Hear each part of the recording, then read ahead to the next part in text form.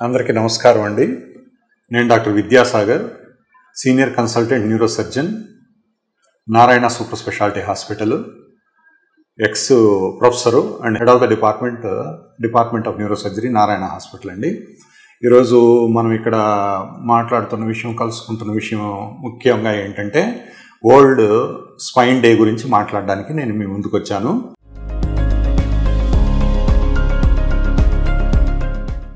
ఇది ప్రతి సంవత్సరం అక్టోబర్ పదహారో తేదీన మనము వరల్డ్ స్పైన్ డేగా జరుపుకుంటున్నాము.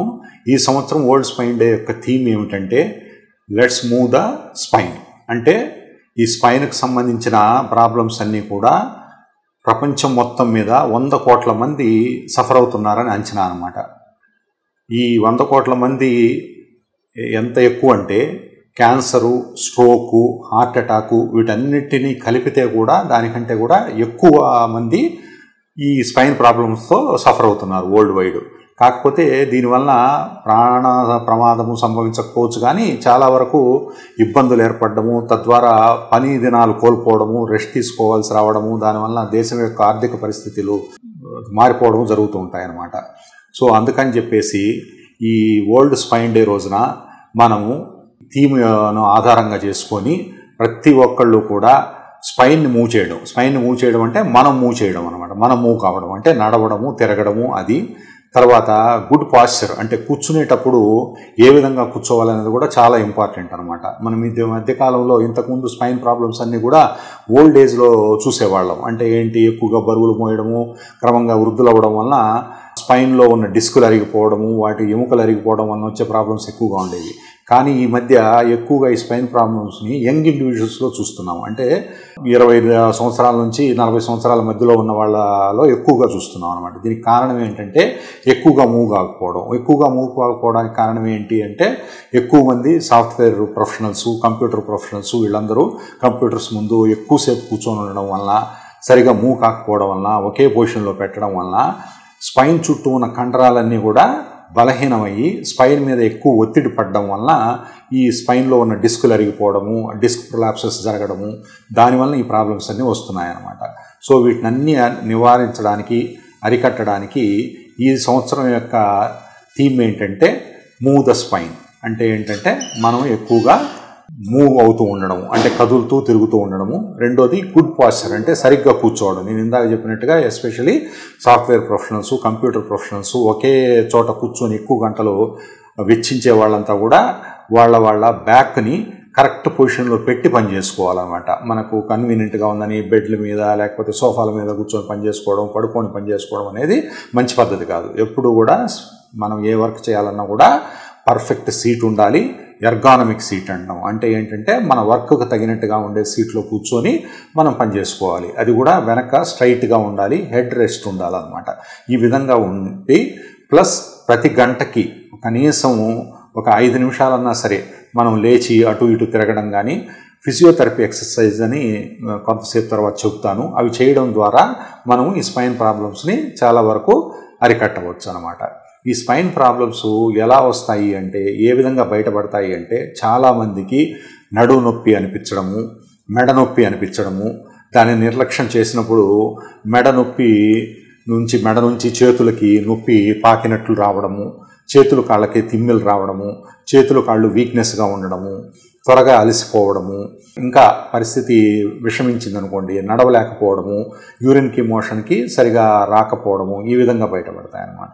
అదే లంబార్ స్పైన్ అంటే ఏంటంటే నడుములో ఉన్న స్పైన్లో వచ్చే ప్రాబ్లమ్స్ నడువు నొప్పిలాగా కానీ లేకపోతే నడువు నొప్పి నుంచి కాలుకు పాకే నొప్పిలాగా దాన్నే మనం సయాటికా అంటాం అనమాట కాలుకు పాకే నొప్పిలాగా కానీ రెండు కాళ్ళకు నొప్పులు రావడం కానీ కొంత దూరం నడవంగానే నొప్పులు ఎక్కువైపోయి ఎక్కడో చోట కూర్చోవాలనిపించడము. కూర్చొని కాసేపు రెస్ట్ తీసుకున్న తర్వాత మళ్ళా నడవగలుగుతాం అనమాట దీన్నే న్యూరోజెనిక్ క్లాడికేషన్ అంటాం అనమాట ఇవన్నీ కూడా లంబార్ స్పైన్ అంటే నడుములోని స్పైన్కి సంబంధించింది నేను ఇంతకుముందు చెప్పినవన్నీ కూడా సర్వైకల్ స్పైన్ అంటే మెడలోని స్పైన్కి సంబంధించినవి అనమాట సో వీటిని రెండు రకాలు. ఒకటి ఏంటంటే మనము ఈ స్పైన్ యొక్క ప్రాబ్లం రాకుండా అరికట్టడం ఒకటి రెండోది వచ్చిన త్వరగా వచ్చిన తర్వాత త్వరగా గుర్తించడము మూడోది సరైన ట్రీట్మెంట్ తీసుకోవడం. దీని ద్వారా మనం ఈ బాధల నుంచి బయటపడవచ్చు అనమాట సో ఈ స్పైన్ ప్రాబ్లమ్స్ అరికట్టడంలో ముఖ్యమైనది ఏంటంటే ఫిజియోథెరపీ అనమాట మనం ఫిజియోథెరపీ అనగానే ఈ జబ్బు వచ్చిన వాళ్ళకి స్పైన్ ప్రాబ్లం వచ్చిన వాళ్ళకో లేకపోతే ఆపరేషన్ చేసిన వాళ్ళకో లేకపోతే మెడలో స్పైన్ ప్రాబ్లం వచ్చిన వాళ్ళకో మాత్రమే ఉపయోగపడుతుంది అనుకుంటాం. అది తప్పు. ప్రతి ఒక్కరూ ఆరోగ్యంగా ఉండే వాళ్ళు కూడా ఏ విధమైన ప్రాబ్లమ్స్ లేని వాళ్ళు కూడా ఈ స్పైన్ ప్రాబ్లమ్స్ రాకుండా ఉండడానికి ఒక నిర్దిష్టమైన ఎక్సర్సైజెస్ అనేవి రోజు కనుక చేస్తూ ఉన్నామంటే మనకి ఎప్పటికీ ప్రాబ్లమ్స్ రాకుండా ఉంటాయన్నమాట. దీన్నే మనము ఫిజియోథెరపీ అంటాము. దీనిలో కొన్ని ఎక్సర్సైజెస్ ఉంటాయన్నమాట. మెడకు సంబంధించిన ఎక్సర్సైజెస్ ఉంటాయి. అట్లే నడువుకు సంబంధించిన ఎక్సర్సైజెస్ ఉంటాయి. ప్రతి ఒక్కరూ ఆరోగ్యవంతులు కూడా ప్రతిరోజు కొంత సమయాన్ని minimum five to ten minutes morning ఒక five to ten minutes in the evening అంటే మార్నింగ్ ఒకసారి ఈవినింగ్ ఒకసారి కనుక మనం రోజు చేస్తూ ఉన్నామంటే ఈ ప్రాబ్లమ్స్ నుంచి మనము పూర్తిగా అరికట్టవచ్చు అనమాట రెండోది ఇంతకుముందు చెప్పినట్టుగానే గుడ్ పాస్చరింగ్ అనమాట. ఎక్కడ కూర్చొని పనిచేస్తున్నా ఎట్లా ఉన్నా కూడా మన పాస్చర్ సరిగ్గా ఉండేటట్టు చూసుకుంటే ఈ ప్రాబ్లమ్స్ను అరికట్టవచ్చు. మూడోది ఇవి ఏ విధంగా బయటపడతాయి? నేను ఇంతకుముందు చెప్పినట్టుగానే నడువు నొప్పిలాగా కానీ మెడ నొప్పిలాగా కానీ నేను ఇంతకుముందు చెప్పిన లక్షణాలన్నీ కూడా ఉంటాయన్నమాట ఈ లక్షణాలు ఉన్నప్పుడు మనం ఏం చేయాలి అంటే సమర్థులైన దీనికి సంబంధించిన డాక్టర్ అయినటువంటి న్యూరో సర్జన్ని సంప్రదించాలన్నమాట. ఈ న్యూరో సర్జన్ అనే డాక్టర్లు ఏంటంటే మెడకు వెన్నుపూసకు సంబంధించిన జబ్బుల్ని గుర్తించడము వాటిని పరీక్ష ద్వారా ఎక్కడ ప్రాబ్లం ఉందో అని కనిపెట్టడము దానికి మందులతో ట్రీట్మెంట్ అయితే మెడికల్ మేనేజ్మెంట్ అంటాము.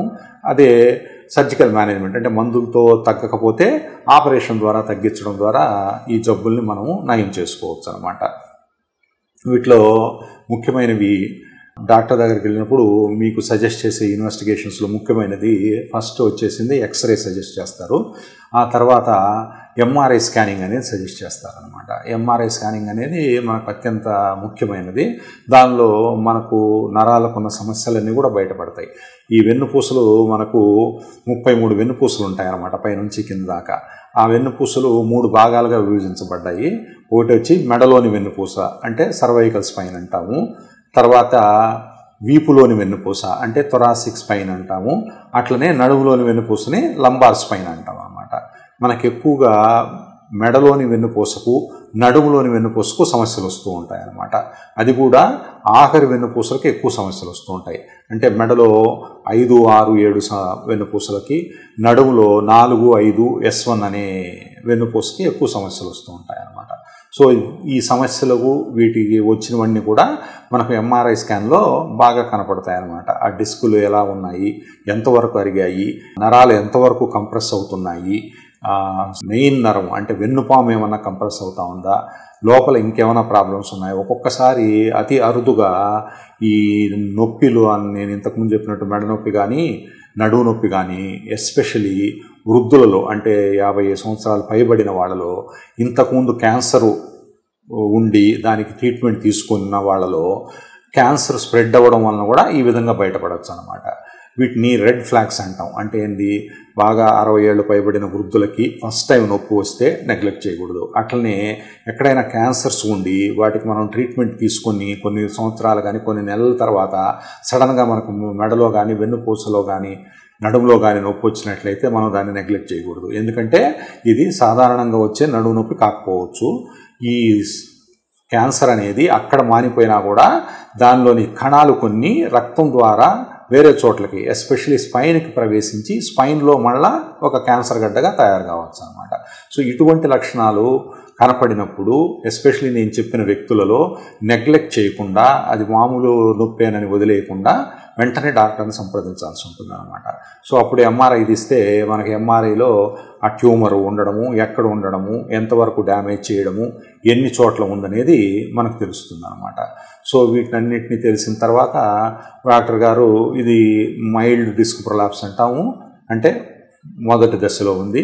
మోడరేట్ డిస్క్ ప్రొలాప్స్ అంటాం అంటే మధ్యస్థంగా ఉంది. సివియర్ డిస్క్ ప్రొలాప్స్ అంటే సివియర్ న్యూరల్ కంప్రెషన్ అంటాం అంటే ఎక్కువగా డిస్క్ అంతా కూడా బయటికి రావడము నరాలు పూర్తిగా నొక్కుకుపోవడం ఉన్నా అట్లాంటప్పుడు మనం ఆపరేషన్ చేయాల్సి వస్తుంది అనమాట అదే మైల్డ్ డిస్క్ ప్రొలాప్స్ అనే వాటికి ఏంటంటే మనం మందుల ద్వారా ఫిజియోథెరపీ ద్వారా మన జీవన విధానాన్ని మార్చుకోవడం ద్వారా పోస్చరింగ్ అంటే కూర్చున్న దాన్ని మార్చుకోవడం ద్వారా కూడా మనం బాగు చేసుకోవచ్చు అనమాట ఇప్పుడు ఈ సివియర్ న్యూరల్ కాంప్రమైజ్ అనేది ఉన్నప్పుడు మనకు డాక్టర్ గారు ఆపరేషన్ సజెస్ట్ చేస్తారనమాట ఈ ఆపరేషన్లు అనేవి ప్రమాదకరమైనవి ఏమీ కావు అనమాట ఒక ప్రజల్లో అపోహ ఉంది. ఏంటంటే వెన్నుపాములో చేసిన ఆపరేషన్లన్నీ కూడా ఫెయిల్ అయిపోతాయి. ఫెయిల్ అయినాయంటే మనం పూర్తిగా కాళ్ళు చేతులు కదలవు మంచం మీదే ఉండిపోతాము అనేసి. అది పూర్తి అపోహ అనమాట ఎందుకంటే అది చాలా సంవత్సరాల క్రితం అంటే ఒక వంద సంవత్సరాల క్రితము ఇంత నాణ్యమైన పరికరాలు లేకపోవడం వలన అప్పుడు చేసే ఆపరేషన్లు కొన్ని ఫెయిల్ అనమాట ఇప్పుడు మనకు ఎంఆర్ఐ స్కానింగ్లు మైక్రోస్కోప్స్ ఎండోస్కోప్స్ ఇవన్నీ వచ్చిన తర్వాత ఇప్పుడు మనం చేస్తున్న ఆపరేషన్లన్నీ కూడా ఆల్మోస్ట్ నైంటీ నైన్ పర్సెంట్ సక్సెస్గానే ఉంటున్నాయి. కాబట్టి మనం ఏమీ భయపడకుండా డాక్టర్ గారిని సంప్రదించి ఈ ఆపరేషన్లు చేసుకుంటే మనం నొప్పి తగ్గిపోవడము తద్వారా మనము నొప్పి లేకుండా ఉండడము త్వరగా వర్క్లోకి వెళ్ళడము మన వర్క్ సఫర్ కాకుండా మన ఆర్థిక పరిస్థితి దెబ్బతినకుండా కూడా మనము చూసుకోవచ్చు అన్నమాట.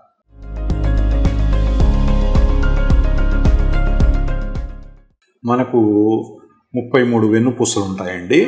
ఆ వెన్నుపూసల మధ్యలో వెన్నుపాము అనేది ఉంటుందన్నమాట. ఆ వెన్నుపాము ద్వారా మనకు ముప్పై మూడు జతల నరాలు మన శరీరానికి సప్లై చేస్తాయన్నమాట. దీనిలో చేతులకు సప్లై చేసే వచ్చేసింది సర్వైకల్ స్పైన్ అంటే మెడలోని వెన్నుపూసల వెన్నుపాము నుంచి వస్తాయన్నమాట.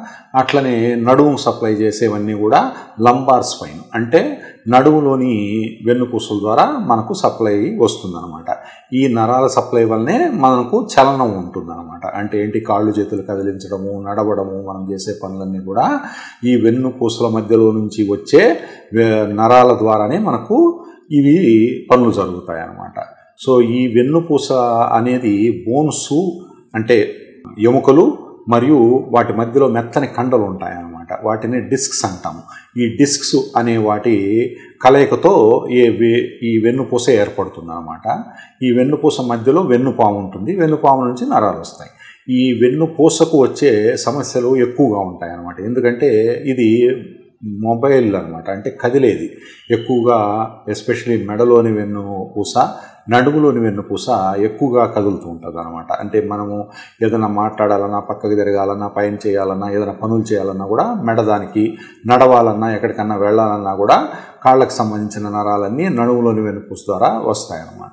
సో ఈ కదలిక వలన ఏమవుతుందంటే రాపిడి ఏర్పడి రాను రాను అవి అరిగిపోతూ రావడము తద్వారా ఆ మధ్యలో ఉండే డిస్కులు అనేవి లూజ్ అయిపోయి జారిపోవడము జరుగుతుంది అది జారిపోయినప్పుడు పక్కకు వస్తే ఆ పక్కనే మనకు నరాలు వస్తుంటాయి కాబట్టి ఈ నరాల మీద పడడం వలన నరాల నొప్పిలాగా నడుము నొప్పిలాగా మెడ నొప్పిలాగా ఇలా మనకు సమస్యల్లాగా బయటపడతాయి అన్నమాట అలా కాకుండా కూడా ఏ పని చేయకపోయినా కూడా మనకు సమస్యలు వస్తాయి. ఎందుకు అంటే మినిమం మొబిలిటీ అనేది మనందరికీ హెల్త్కి అనేక విధాలుగా మంచిదనమాట అందులో స్పైన్ హెల్త్ అనేది కూడా మొబిలిటీ అంటే మనము కదిలే దాన్ని బట్టే ఆధారపడి ఉంటుంది అనమాట సెడెంటరీ లైఫ్ స్టైల్ అంటే ఎక్కడికి కదలకుండా ఒకే చోట కూర్చొని ఉంటే కూడా మన అవి తొందరగా అరిగిపోతాయి. అవి ఎలా అరిగిపోతాయి అంటే మన యొక్క స్పైన్ అనేది మస్కులో స్కెలిటల్ సిస్టమ్ అంటాం అంటే ఏంటంటే స్కెలిటల్ అంటే బోన్కు సంబంధించింది మజుల్ అంటే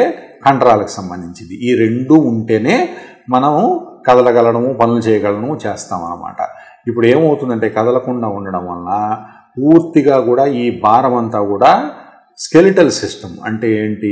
వెన్నుపూసే భరించాల్సి వస్తుంది అనమాట మజుల్స్ అన్నీ కదలకపోవడం వలన అవి క్షీణించిపోయి బలం లేకపోవడం తయారవడం వలన పూర్తి భారం వెన్నుపూస మీద పడడం వలన వెన్నుపూస అనేది త్వరగా అరిగిపోవడము డిస్కుల మీద భారం ఎక్కువ కావడం వలన డిస్కులు త్వరగా అరిగిపోవడము స్లిప్ అయిపోవడము జరుగుతుంటాయి. ఇవి ఎక్కువగా యంగ్ ఇండివిజువల్స్ అంటే ఉన్న వాళ్ళలో ఎక్కువగా వస్తాయి అనమాట ఇరవై నుంచి నలభై సంవత్సరాల మధ్య ఉన్న వాళ్ళలో ఎక్కువగా వస్తూ ఉంటాయి అనమాట ఈ కాలంలో ఇది బాగా ఎక్కువైంది. ఎందుకంటే ఈ కంప్యూటర్ ప్రొఫెషనల్స్ సాఫ్ట్వేర్ ప్రొఫెషనల్స్ వీళ్ళ ఎగ్జిక్యూటివ్స్ వీళ్ళందరూ ఎక్కువ శాతం ఒకే చోట కూర్చొని కంప్యూటర్ల మీద వర్క్ చేస్తూ రావడము దానివల్ల పూర్తిగా కదలిక అనేది తగ్గిపోయింది అనమాట గంటల తరబడి ఒకే దాని మీద కూర్చొని ఉండడం ఎస్పెషల్లీ ఇప్పుడు మొబైల్స్ చూసేవాళ్ళు కానీ టీవీలు చూసేవాళ్ళు కానీ కొన్ని గంటల తరబడి ఎటు కదలకుండా ఒకే ప్లేస్లో కూర్చొని ఉండడం వల్ల కూడా ఈ సమస్యలు ఎక్కువగా వస్తున్నాయి అన్నమాట ఇవన్నీ కూడా యంగ్ ఇండివిజువల్స్ అంటే ఏంటంటే నేను ఇంతకుముందు చెప్పినట్టు ఇరవై నుంచి నలభై సంవత్సరాల మధ్యలో ఎక్కువగా కనపడుతున్నాయి. అదే అరిగిపోవడం అంటే ఏంటి? ఎక్కువ పని చేయడం వల్ల కానీ బరువులు ఎత్తడం వల్ల కానీ లేకపోతే వృద్ధాప్యం అంటే వయసు పడే కొద్దీ జనరల్గానే ఎక్కువగా మొబిలిటీ ఉన్నప్పుడు అవి అరిగిపోతూ వస్తాయి అన్నమాట అటువంటి సమస్యలన్నీ కూడా వృద్ధుల్లో ఎక్కువగా కనిపిస్తాయి అన్నమాట సో దానేమో అరిగిపోయిన దానివల్ల వచ్చేది ఇదేమో పని చేయకుండా పోవడం వలన డిస్కులు కదిలిపోయి వచ్చే నొప్పులు అనమాట ఈ రెండిట్లో నొప్పులు కూడా ఒకే విధంగా ఉంటాయి.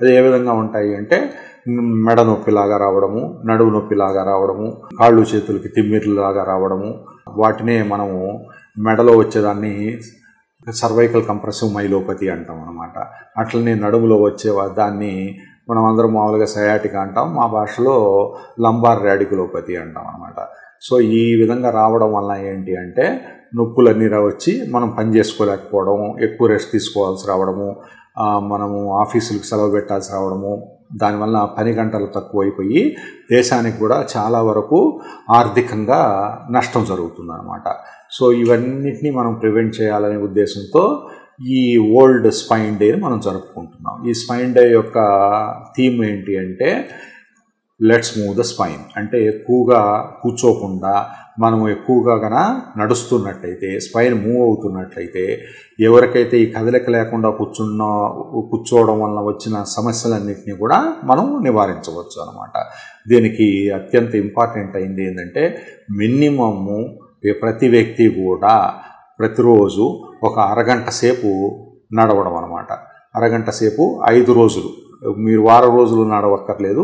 ఒక వారంలో ఐదు రోజులు నడిచినా కూడా మనకు సరిపోతుంది అనమాట ఇది స్పైన్కి ఒక్కదానికే కాకుండా మన చాలా ఆరోగ్యపు అనారోగ్యాలని నుంచి మనల్ని కాపాడుతుంది. ఎస్పెషలీ హార్ట్కి సంబంధించిన ప్రాబ్లమ్స్ కానీ నర్వ్స్కి సంబంధించిన ప్రాబ్లమ్స్ కానీ మిగతా చాలా ప్రాబ్లమ్స్ క్యాన్సర్ వచ్చే లక్షణాలు కూడా మనకు నడవడం వలన తగ్గిపోతాయి అన్నమాట సో ఈ విధంగా మనం నడవక అలవాటు చేసుకుంటే చాలా రకాల జబ్బుల్ని మనము నివారించవచ్చు. అందులో ఈ స్పైన్ ప్రాబ్లమ్స్ కూడా ఒకటి అనమాట రెండోది వచ్చేసిందే ఫిజియోథెరపీ. ఇంతకుముందు చెప్పినట్టుగా ఈ ఫిజియోథెరపీ చేయడం ద్వారా కూడా మనకు వెన్నుపూసకొచ్చే సమస్యల నుంచి మనం బయటపడవచ్చు అనమాట మూడోది పోస్చరింగ్. అంటే సరిగ్గా కూర్చోవడం. కూర్చునే విధానం సరిగ్గా కూర్చోవడం వల్ల కూడా మనము ఈ సమస్యల నుంచి బయటపడవచ్చు అనమాట ఒకసారి ఈ సమస్యలు వచ్చిన తర్వాత నేను ఇంతకుముందు చెప్పినట్టుగా ఈ లక్షణాలన్నీ ఉంటాయి. ఈ లక్షణాలు ఉన్నప్పుడు మనం నెగ్లెక్ట్ చేయకుండా డాక్టర్ని సంప్రదించాలి అతి ముఖ్యమైనది ఏంటంటే ఈ లక్షణాలు వృద్ధుల్లో కనిపించినప్పుడు ఫస్ట్ టైము మనం అస్సలు నెగ్లెక్ట్ చేయకూడదు అనమాట ఫస్ట్ టైం అరవై ఏళ్ళ పైబడిన వాళ్ళలో నడుము నొప్పి లాగా వచ్చిందంటే ఇది సాధారణమైన నడుము నొప్పి కాకపోవచ్చు. ఇది క్యాన్సర్కు సంబంధించిన నడువు నొప్పి కూడా అయి ఉండొచ్చు అనమాట ట్యూమర్స్ అంటే ఎక్కడన్నా క్యాన్సర్ మన బాడీలో పుట్టి అక్కడ నుంచి రక్తం ద్వారా ఇక్కడికి వచ్చి ఇక్కడ మళ్ళొక గడ్డలాగా క్యాన్సర్ గడ్డలాగా ఉత్పన్నమయ్యి మనకి ఇది కలిగించవచ్చు అట్లనే ఇంతకుముందు ఎవరైనా సరే క్యాన్సర్కి ట్రీట్మెంట్ తీసుకున్న వాళ్ళు క్యాన్సర్కి ఆపరేషన్ చేసుకున్న వాళ్ళు కొన్ని నెలలైనా లేకపోతే కొన్ని సంవత్సరాల ముందైనా జరిగి ఉంటే కూడా ఫస్ట్ టైము ఎక్కువగా తీవ్రతతో నొప్పి వస్తే మనం నెగ్లెక్ట్ చేయకుండా ఏం చేయాలంటే వెంటనే డాక్టర్ డాక్టర్ని సంప్రదించాలన్నమాట. డాక్టర్ని సంప్రదిస్తే అది మామూలుగా అరిగిపోయిన దాని వలన డిస్కుల వలన లేకపోతే వెనుపూసల వలన వచ్చిన నొప్పి లేకపోతే ఈ క్యాన్సర్ వలన వచ్చిన నొప్పి అని నిర్ధారించి మనకు సరైన ట్రీట్మెంట్ ఇస్తారనమాట ఈ స్పైన్కి సంబంధించిన సమస్యలు ఇప్పుడు ఎక్కువగా ఇంకొక వర్గం వాళ్ళలో కూడా చూస్తున్నాం అనమాట వాళ్ళు ఏంటంటే క్రీడాకారులు అంటే ఎక్కువగా స్పోర్ట్స్ ఆడేవాళ్ళు కానీ లేకపోతే ఎక్కువగా యూత్ అంటే ఎక్కువగా బైకులు ఎక్కువ దూరం నడిపేవాళ్ళు వేగంగా నడిపేవాళ్ళు కానీ ఈ యాక్సిడెంట్ల్లో కానీ యాక్సిడెంట్స్ జరిగినప్పుడు కూడా మనకి స్పైన్ ప్రాబ్లమ్స్ వస్తూ ఉంటాయి అనమాట especially cervical spine lumbar spine అనేవి. అందుకనే మనము యాక్సిడెంట్స్ని ప్రివెంట్ చేయడం చాలా ఉత్తమమైనది. ఒకసారి స్పైన్కి కన్నా దెబ్బ తగిలి స్పైన్ల కాడు పూర్తిగా దెబ్బ తినేసిందంటే మన కాళ్ళు చేతులు పూర్తిగా పడిపోతాయి అనమాట మనం ఏం చేసినా ఎంత డబ్బున్నా ఎక్కడ ప్రపంచంలో ఎక్కడికి వెళ్ళినా కూడా మనం ఏ విధమైన వైద్య సహాయం ద్వారా కూడా వీటిని తిరిగి పొందలేమన్నమాట. ఇది ప్రతి ఒక్కళ్ళు మనం మనసులో గుర్తుపెట్టుకోవాల్సిన విషయం అనమాట ఎస్పెషలీ యూత్ ఎక్కువగా ఈ బైక్స్ రేసింగులు వీళ్ళలో పాల్గొనడం వాటి వలన చాలా ప్రమాదాలకు గురవుతూ మా దగ్గరికి వస్తూ ఉంటారనమాట ఇది పూర్తిగా విరిగిపోయి కట్ అయిపోయింది అనుకోండి మనం ఏమీ చేయలేము అనమాట అదే కాకుండా విరిగిపోవడము వెన్నుపాముకి ఏమీ కాకుండా ఉంటే మనము వెన్నుపూసను సరిచేసి మళ్ళీ వాళ్ళను నడిచేటట్లు మామూలు మనుషులుగా మనము తయారు చేయవచ్చు అనమాట ఇంకొకటి ఈ సర్వైకల్ కంప్రెసివ్ మైలోపతి అన్నాను. ఇది ఎక్కువగా వయసు అయిన వాళ్ళలో ఎక్కువగా కనపడతా ఉంటుంది అనమాట అన్నీ మనందరం కూడా సర్వైకల్ స్పాండలోసిస్ అంటాం. సర్వైకల్ స్పాండలోసిస్ అంటే అరిగిపోవడము అని.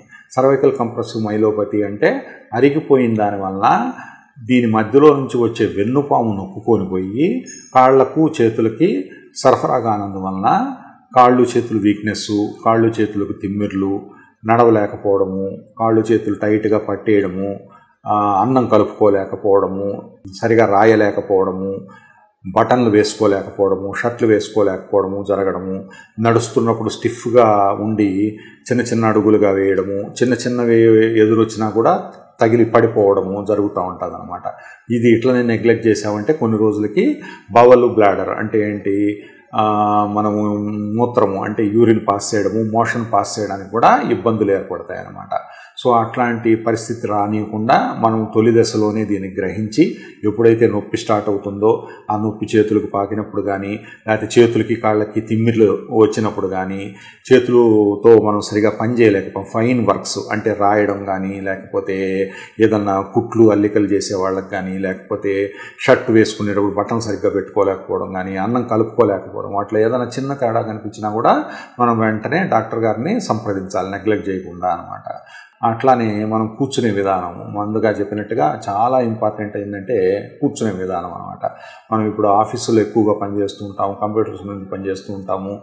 సో ఎక్కువ కదలిక లేకపోవడం వల్ల కంటిన్యూస్గా కూర్చోవడం వల్ల ఏమవుతుందంటే మన భారం అంతా కూడా వెన్నుపూ పాము మీద వెన్నుపూస మీద పడడం వలన మనకి సమస్యలన్నీ వస్తున్నాయి అన్నమాట సో వీటిని అరికట్టాలి అంటే మనము కరెక్ట్ పాస్చర్లో కూర్చోవడం అనమాట ఎక్కడంటే అక్కడ సోఫాల మీద బెడ్ల మీద అట్లా మనకేదో కన్వీనియంట్గా ఉంది కదా ఆ టైంకి అనుకుని అలా కూర్చొని పనులు చేయకుండా ఒక టేబుల్ ఈ యొక్క చైరు చైర్ కూడా మనకు వాటికి సరిపోయినట్టుగా పూర్తిగా వెనక బ్యాక్ సపోర్ట్ ఉండేటట్టుగా హెడ్కి సపోర్ట్ ఉండేటట్టుగా చూసుకొని దాని ద్వారా పని చేసుకోవడము. ఇంకోటి ఏంటంటే ప్రతి గంటకి గంటలు గంటల తరబడి ఒకే దీనిలో కూర్చోకుండా ప్రతి గంటకి మినిమం ఒక ఐదు నిమిషాలు మనం లేచి అటు ఇటు తిరగడము నడవడము వీలైతే ఇంతకుముందు చెప్పిన చిన్న చిన్న ఫిజియోథెరపీ ఎక్సర్సైజులు చేసుకోవడం ఆ టైంలో మళ్ళా కూర్చొని మన పనిని చేసుకున్నా ఉన్నా చేసుకుంటే ఎన్ని గంటలైనా కూడా మనకు ఇబ్బందులు రాకుండా మనము చేసుకోవచ్చు అనమాట సో ఈ విధంగా కూడా మనము దీన్ని అరికట్టవచ్చు. ఇవన్నీ కాకుండా ఈ ప్రాబ్లమ్స్ వచ్చి తర్వాత డాక్టర్ని కలిసి ఆపరేషన్ అని చెప్పినప్పుడు మనం భయపడకుండా ఆపరేషన్కి వెళ్తేనే త్వరగా ఈ నొప్పులు తగ్గుతాయి. ఫ్యూచర్లో వచ్చే కాంప్లికేషన్ కూడా మనం అరికట్టవచ్చు. దాని ద్వారా మనం త్వరగా మన పనులు చేసుకోవచ్చు. మనకు ఆర్థిక నష్టం లేకుండా ఉంటుందన్నమాట. ఇంతకుముందులాగా కాకుండా ఇప్పుడు చాలా చిన్న ఇన్సిషన్తో అంటే స్మాల్ ఇన్సిషన్తోనే మనము ఆపరేషన్ చేస్తున్నాం అనమాట అదే ఎండోస్కోపీ ఆపరేషన్స్ మైక్రోస్కోపీ ఆపరేషన్స్ అన్నీ కూడా చిన్న చిన్న ఇన్సిషన్స్తో చేస్తాము. చిన్నగా ఉంటుంది కాబట్టి మీకు నొప్పి తక్కువగా ఉంటుంది. పేషెంట్ త్వరగా రికవర్ అయిపోవచ్చు. ఒకటి రెండు రోజుల్లోనే మనము ఇంటికి వెళ్ళిపోవచ్చు ఒక వారం రోజుల్లో మన పనులన్నీ మనం చేసుకునే విధంగా కూడా ఇప్పుడు మనకు వచ్చేసాయన్నమాట ఈ కొత్త పరిష్కార మార్గాలు.